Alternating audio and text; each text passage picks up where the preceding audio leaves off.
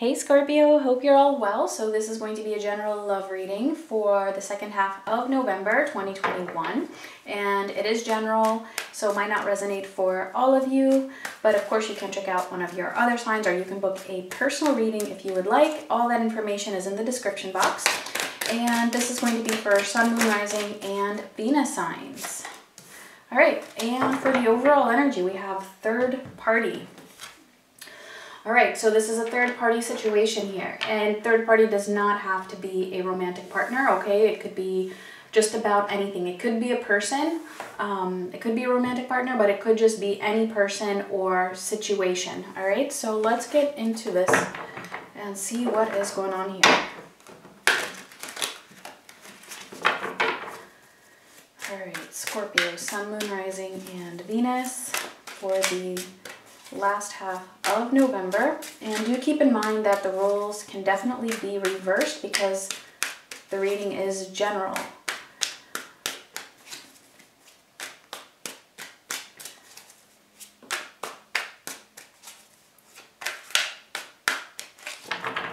All right, Scorpio, let's see what we have. Ooh, starting off the reading, we have the Ten of Cups crossed by the Seven of Wands. Okay, uh, recent past, the King of Pentacles, near future, the Nine of Cups. In your energy, we have the Ace of Cups. For them, we have the Five of Swords. More about you is the Four of Swords. For them, the King of Cups. And the potential outcome here, we have the World. Okay. So definitely a lot of emotions here between you and another person or a lot of potential to have this Ten of Cups, to have that perfect balance of happiness, love, fulfillment, right? Just everything. Um, it's crossed by the Seven of Wands though, so this is the challenge. Somebody is being a little bit defensive or on guard, kind of guarding their emotions, possibly blocking this this out a little bit or just not allowing themselves to fully experience this. Um, the recent past, the King of Pentacles, it, it feels like there was some kind of stability here, or there either there was commitment or things at some point did feel like they were stable. Um, for you, you definitely hold a lot of love for this person, um, but there's something here that you're healing. There's something here that you're healing in your own self, but in terms of the connection as well possibly through the connection. We'll see when we clarify. For them, the Five of Swords and the King of Cups. Yeah, so they have a lot of love here as well, right? They're showing up as... Because I actually feel like this King of Pentacles here is representing um, the other person. But again, roles can be reversed, okay? Regardless of whether you're cross-watching or not. Yeah, so this is definitely somebody who does want that commitment. I just feel like there's some blocking out, all right? Um, there's a lot of emotions here, a lot of emotions. And again, with the, this Five of Swords, though, something is a little bit deceptive. We'll see. I feel like they're trying to, they, they feel like, they feel like by blocking this out, because I do feel like it's mostly them, alright, because they have this Five of Swords. Um, I feel like by blocking this out, or being on guard, they they're maintaining some kind of a control or they're ma- they're feeling like you know they're coming out on top i feel like it's it's a lot of self-protection here like wanting to have the upper hand possibly to avoid getting hurt however we do have the nine of cups showing up in the near future so there is some pleasure coming up some it's close to that 10 of cups right it's close to that 10 of cups it's not exactly the 10 but it's it's very close to it and then we have a completion of the cycle here for the potential outcome. So I don't know where the third party is playing a role here, but hopefully we will we will find out. So let's see. Ten of Cups with the Seven of Wands. All right, the Four of Cups, the Three of Pentacles, and the Page of Wands. All right.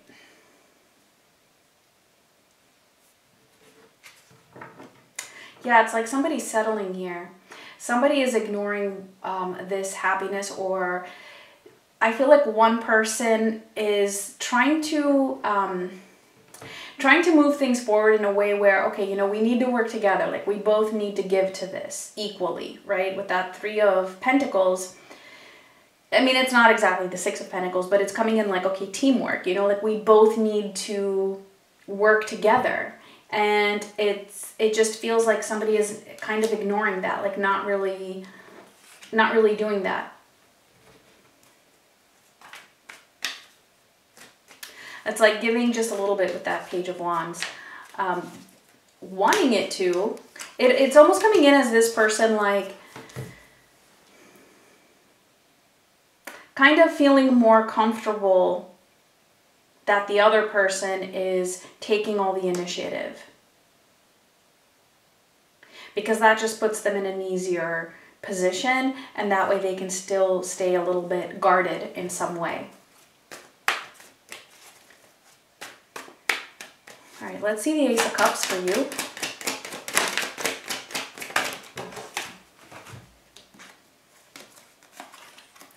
The King of Swords and the Hanging Man. Yeah, I feel like you're, what this is, is that you are pretty, you're pretty set in your views as to what this connection is and as to what you feel about this connection and that you believe that it is the Ace of Cups. And you know what? I agree with you. I agree with you because I do see there being love from the other person as well. I mean, starting off the reading, we have the Ten of Cups, right, as the very first card out. So I feel like you're just very firm with that, but you're trying to, um, you're, you're trying to not be too um, active in this. And I feel like that's because, you know, like I said, you feel like you can't always be the one to take initiative.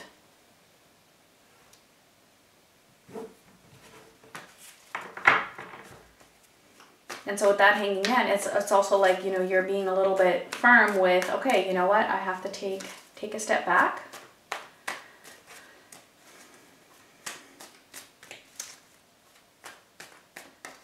Yeah. Let's see the Four of Swords.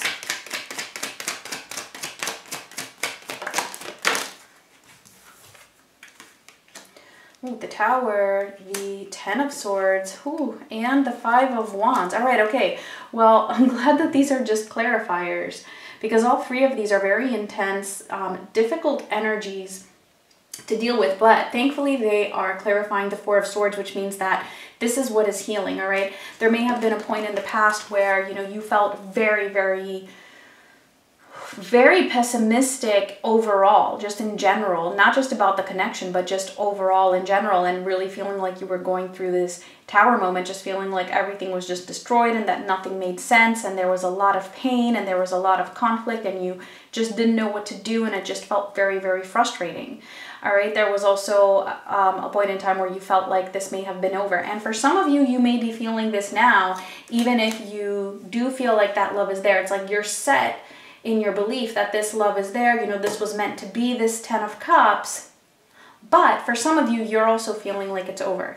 That's not going to be for all of you. For some of you, this is a past energy, is what I'm getting. And for others of you, it is a current energy. Either way, there's a lot of healing that is happening through you having experienced or experiencing that tower and that ending, the conflict associated with that. Like being okay with things being, not being exactly what you would hope them to be.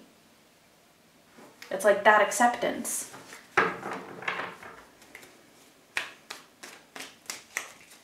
So let's see what's going on with this other person. Let's see the Five of Swords.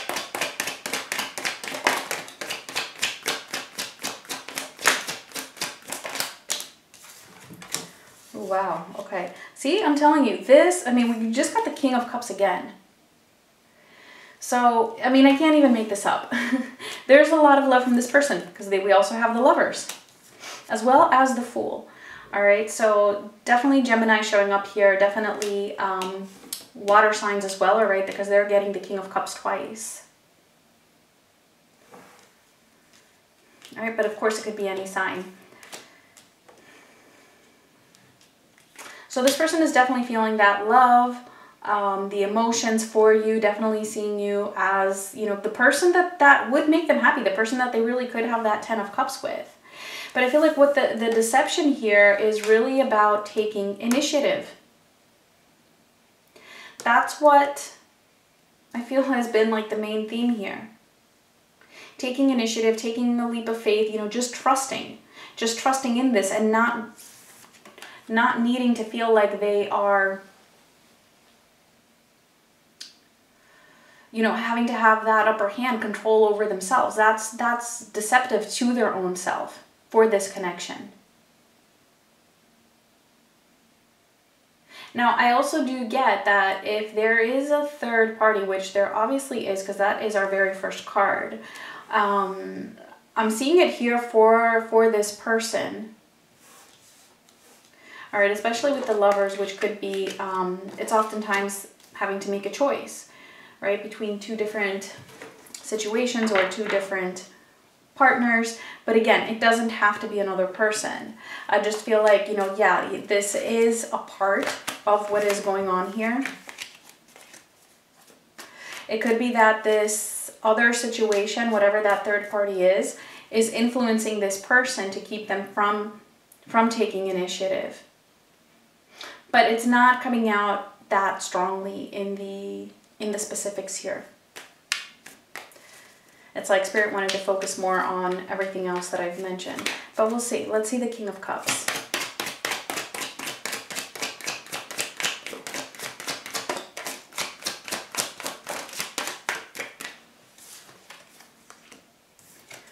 The Knight of Wands and the Queen of Swords.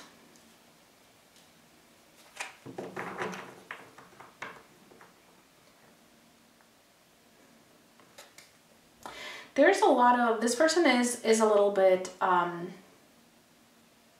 inconsistent. The emotions are there, but there's a lot of um, inconsistent energy here, and I do feel like again there's this third party that is showing up here.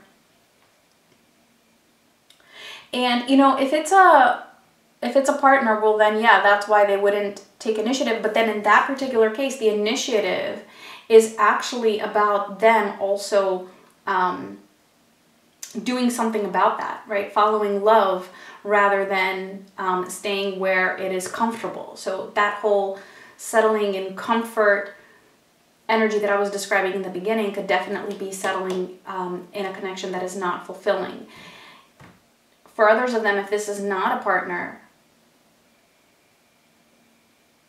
it's it's someone or something. I'm seeing it more as a someone I don't know what relationship they could they could have. It could be anything, right? It could be a family member. It could be just about anything, a friend even. Um, that is somehow influencing them to be to be inconsistent. But of course, you know that would be their own lesson to you know not allow any third energy to to affect them. Let me get one more here. Temperance. All right, Sagittarius showing up. Yeah. Having to learn how to moderate, you know, themselves when it comes to how much do I allow other people to affect me? I mean, we're always going to be affected by other situations, but when it comes down to what we want and what we feel in our hearts, it's all about finding that balance within ourselves and not allowing others to take advantage of us, right? Which could also be this Five of Swords, somebody else um, being manipulative or taking advantage of them. And again, with temperance, I mean, oftentimes that can be that can be a little bit of a sign of of settling. Staying somewhere that's you know just moderate. It's not it's not exactly where you you would want to be. I know it's it's Temperance is oftentimes, um, it's a very, very positive card. And I do see that there is healing here, okay? There is some kind of balance that this person is, is coming into.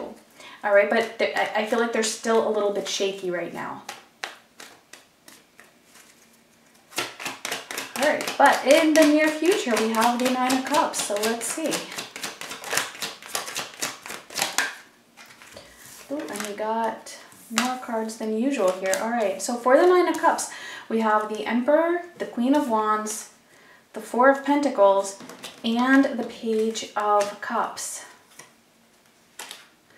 somebody's taking charge here and going after what it is that they want because I do feel like they're seeing you, they're perceiving you as this Queen of Wands here. Um, there is a lot of desire here. There's a lot of desire. Somebody is going after that and I feel like they're doing it in a very like like in a very stubborn way. It's almost coming in with the Emperor and the Four of Pentacles, almost like possessive, like no, you, like and and then the Queen of Wands like right in the middle. It's like saying you are mine. Like this is what I want. This is what belongs to me. And the Page of Cups, obviously, you know, um, it's a small offer. It's a small expression of emotions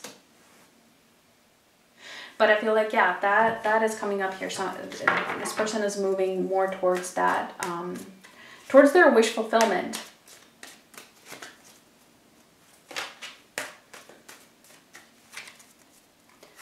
Alright, so let's see the world for the potential outcome.